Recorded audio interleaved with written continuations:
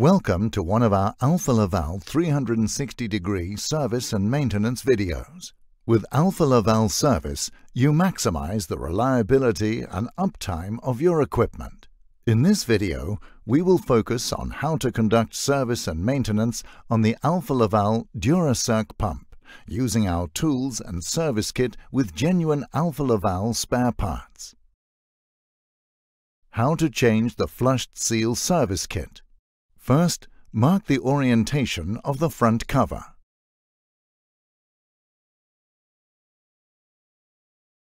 Remove the rotor case cover nuts and cover.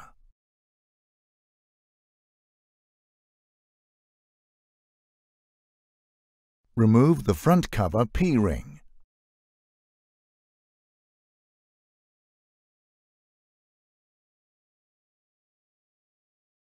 Now, mark the positions of the rotors.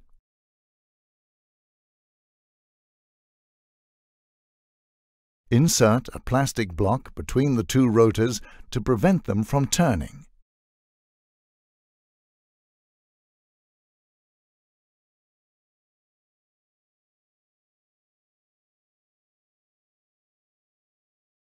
Remove the rotor nuts.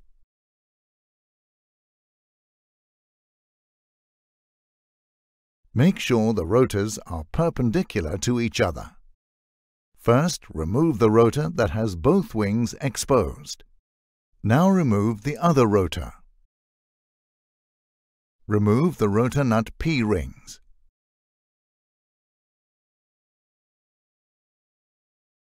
Then remove the rotor shaft O-rings. Extract the rotary seal face and square ring from the rotors.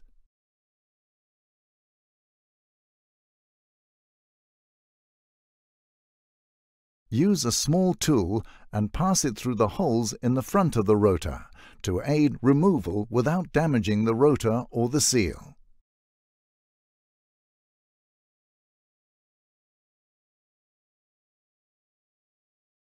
Remove the square rings from the static seal faces.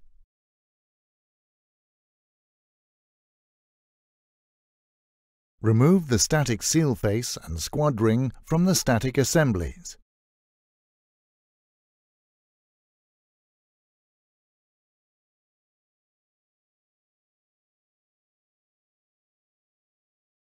Remove the static assemblies from the rotor case.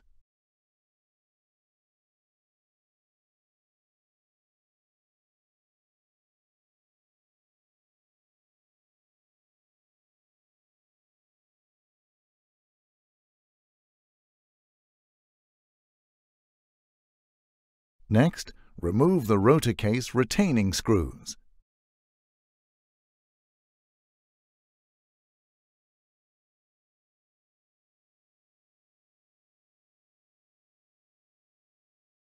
Remove rotor case, tapping both sides with a soft mallet if required. Remove the lip seals from the rotor case.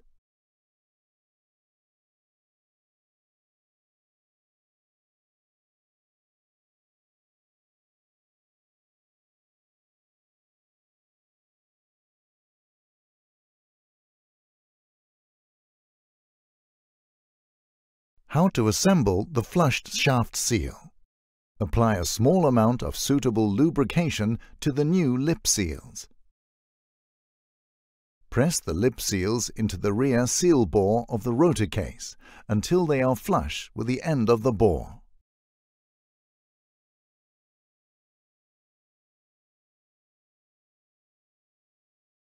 Refit the rotor case, ensuring the rotor case screws are tightened to the required torque as stated in the instruction manual.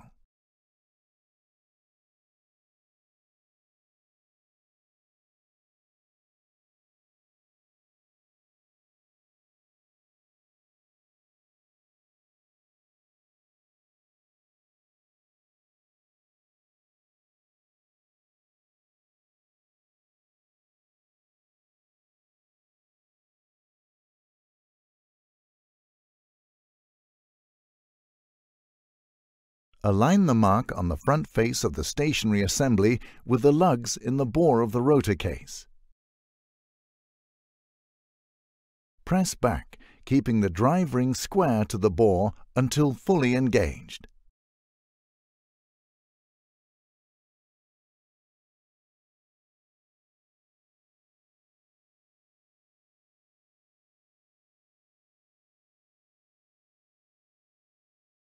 Check that the static assemblies are fully seated by checking the dimensions stated in the instruction manual.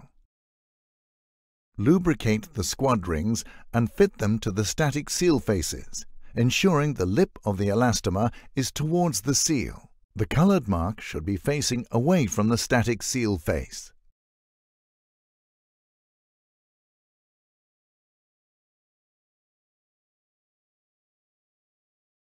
Align the slots in the static seal faces with the pins in the static assembly and press back gently until fully engaged.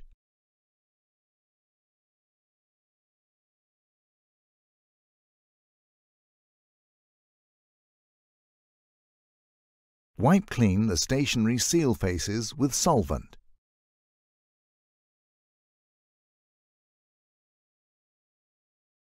Lightly lubricate and fit the new rotor shaft O-rings.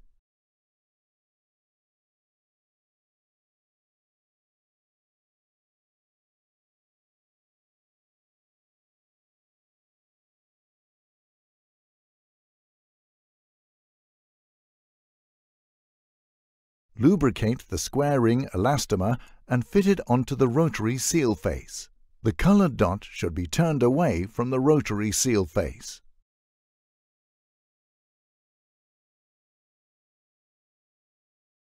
Align the cutout on the rotary seal with the pins in the bore of the rotor and press back gently until fully seated.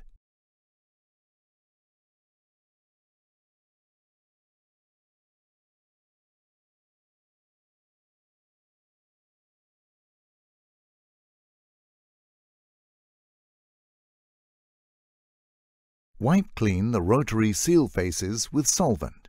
Next, make sure the rotor case is fitted and tighten the rotor case screws according to the specification in the instruction manual. Refit the rotors, aligning the missing spline in the rotor with the shafts. Reposition the rotors using the marks made during disassembly when refitting existing components.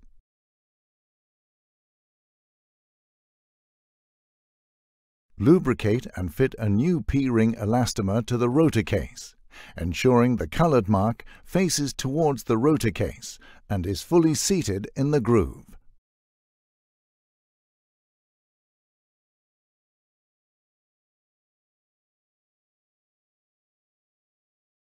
Lightly lubricate and fit the new P-ring elastomer into the groove on the rotor nuts, ensuring the correct orientation.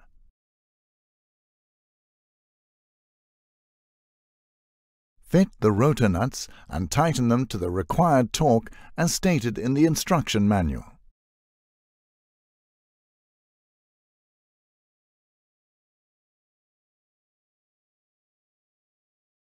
Use a plastic block to stop the rotors from turning during tightening.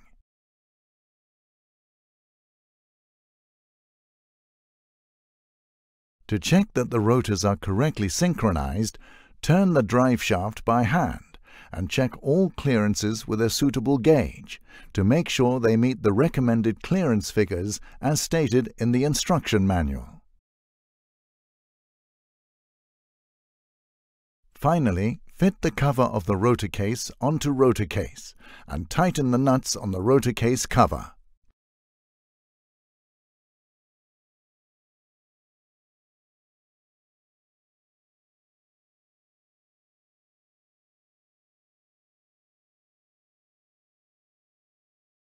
Apply torque as stated in the instruction manual.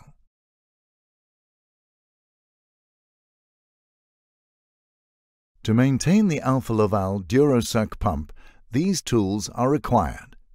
Always remember to read the instruction manual thoroughly to make sure you cover all maintenance steps.